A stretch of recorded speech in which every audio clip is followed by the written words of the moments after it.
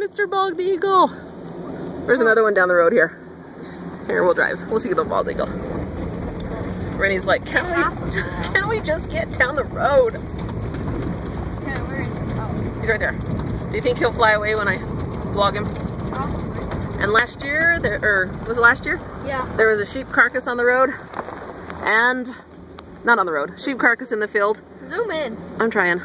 Is that better? Wait, where'd he go? I lost him. Oh, there he is. And there were seven bald eagles eating the sheep carcass, and I wanted to go plant an American flag and say, so patriotic.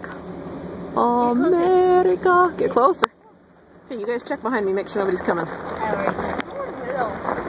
This is the middle of nowhere. Remember, Mom? Yes, very good. Very majestic. It's a big eagle. Come on, get closer. No, it's fine. I should train that thing.